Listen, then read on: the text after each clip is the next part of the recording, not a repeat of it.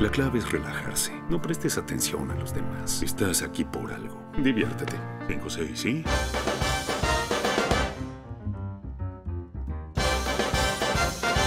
Con ustedes, Buddy Rich.